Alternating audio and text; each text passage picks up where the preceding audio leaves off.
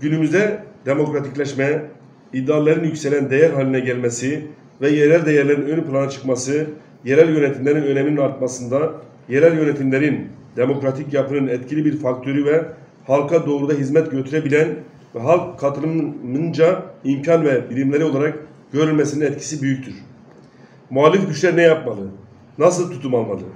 Soruları üzerinde düşünmeli, halkın iradesine sahip çıkacak, donanıma ve entelektüel birikime sahip aday adayları arasında belirlenecek adaylar ve ilkeler çerçevesinde yapılacak olan ittifaklarla birlikte inat ve umutla yürütülecek planlı, programlı bir seçim kampanyasında başarılı olmak kaçınılmaz olacaktır. Nasıl bir yerel yönetim?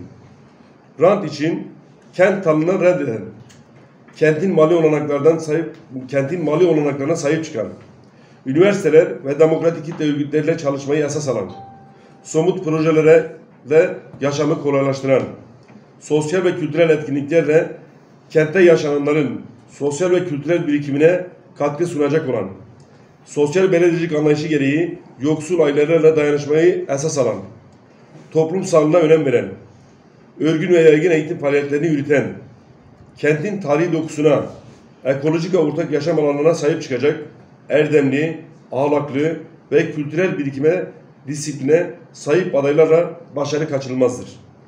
Bu nedenledir ki günümüzde yerel yönetimler demokrasinin temel kurumları olarak görülmektedir. Yerel yönetimler halkın yönetime katılımını sağlayan ve halka kendi kendilerini yönetme erdemi kazandıran en önemli koşullar olmalarının yanında demokrasinin en etkin bir şekilde hayata geçirildiği kuruluşlardır. Yerel yönetimler düzeyinde temsilciler ile seçmenler arasında coğrafya toplumsal uzaklığın ulusal düzeye oranla daha az olmasının demokrasi kurumunun öngördüğü hem gerçek bir seçme sürecinin hem de etkili bir halk denetiminin gerçekleşmesini sağlamaktır. Yerel yönetimlerin sorunlarının kaldırabilmesi ve yerel demokrasinin tüm kurumlarının yerel düzeyde kurum, kurumsallaştırabilmesi için yerel halkın demokrasi bilincinin geliştirilmesi gerekmektedir. Bunun gerçekleştirebilmesi için yerel yönetimlerin merkezde olan bağımların ortadan kaldırmak, özelliğinin sağlanması, çağın gereklerine uygun bir seçim sistemiyle halkın temsilcilerini sağlıklı bir şekilde belirleyebilmesi ve yerel halkın etkin bir şekilde yönetme katılımının sağlanması gerekmektedir. Unutulmamalıdır ki demokrasi yerel düzeyde başarılı bir şekilde yaşama geçebilir ise ulusal düzeyde de başarılı bir demokrasiden söz edilebilir. Alevi Bektaşi başkanlarının Kültür Bakanlığı ile beraber organize ettiği inancımıza ve kültürümüzden uzak olan içeriğinin belli olmadığı karma eğitim sistemine ters bir anlayışla kız ve erkek çocukların ayrı tutulduğu bu kamplara gençlerimizi göndermeme kararı alındı. Alevi Bektaşi Başkanlığı'nın Kültür Bakanlığı ile ortak organize ettiği hiçbir etkinliğe katılmayacağız. ÇEDES projesine karşı yerlerde eğitim sendikaları ve STK'larla ortak eylemler yürütülmesi ve taleplerimizi en üst düzeyde göstereceğiz.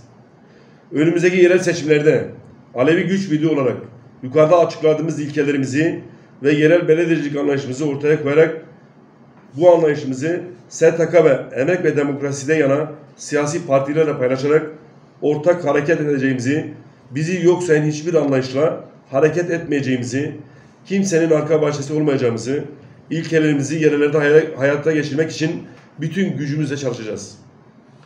Alevi kimlikleri yok sayılan ve katliamlarla geçen Cumhuriyet'in birinci yüzyılının bitip ikinci yüzyılına girdiğimiz bu günlerde de bu tehlikeler artarak devam etmektedir.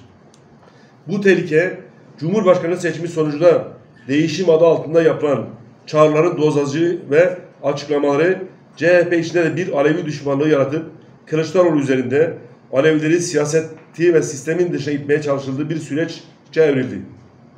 Yıllardır Alevileri seçim kazanmak için seçim ekibi olarak kullananlar, kendi yerel iktidarlarında asgari düzeyde Alevilere yer verenler, ses çıkaran Alevilere işçisin sen işçi kal diyerek zaten olan bir Alevi düşmanlığını üzerinden Alevilerin parti ele geçirdiği ve kontrol ettiği algısı yaratarak bir kolaycılığa kaçmaktadırlar.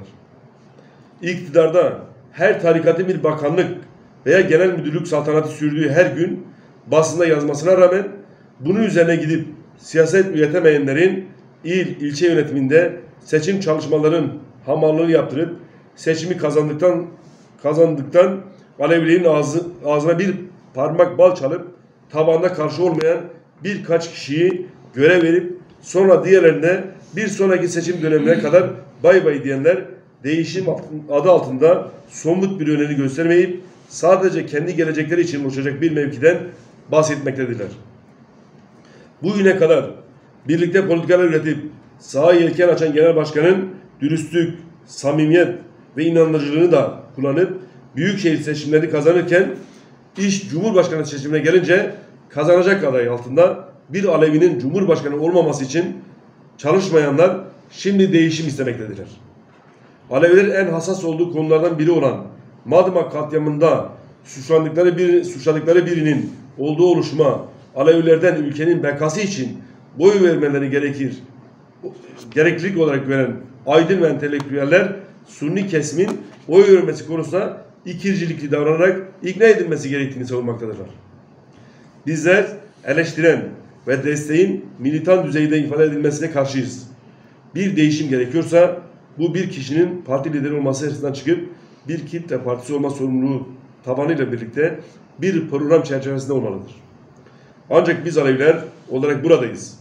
Cumhuriyet değerlerini, laikliği, demokrasiyi, cinsiyet eşitliği ve özgürlüğü hedef alan, haklarımızı yok sayan, eşitsizliği derinleştirmek, derinleştirmek isteyenlerin karşısına bulunduğumuz her alanda direneceğimizi belirtmek istiyoruz. Alevi toplumun kendi özgün değer ve kurallarına sahip bir inanç topluluğu olduğu ve cem evlerinin Alevi toplumunun inançlar kutsal mekanı olduğu